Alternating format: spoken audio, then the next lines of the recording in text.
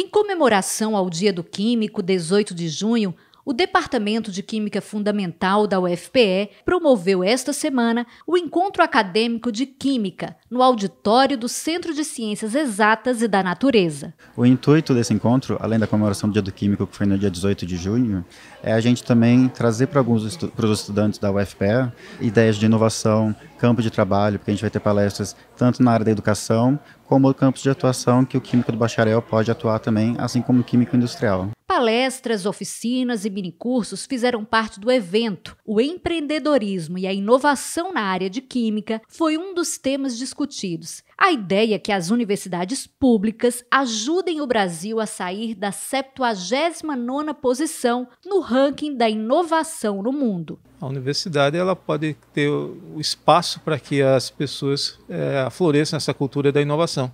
A universidade tradicionalmente faz pesquisa, mas precisa aprender também a transferir esse conhecimento para que ele chegue até a sociedade.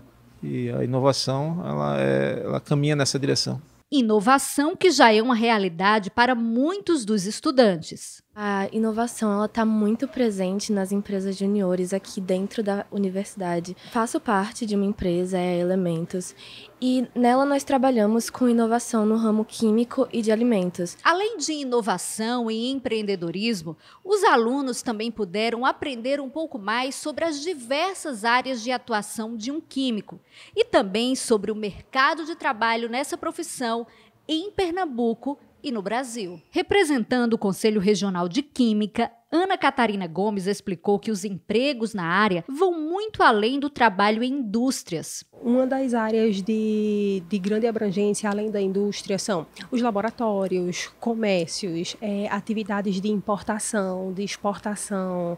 É, é possível ver a presença de químicos em áreas que a gente nem espera, assim como, por exemplo, shoppings, parques aquáticos, é, a área de construção civil, é, hospitais. Então, são áreas que saem um pouco desse padrão que a gente espera para o profissional da química, mas que o químico está super presente. Matheus já escolheu em qual área pretende atuar quando se formar. A área industrial, para mim, é a área que, para mim, de fato, como pessoa, é a área que eu me vejo me encaixando, mas também eu tenho um grande apreço pela educação.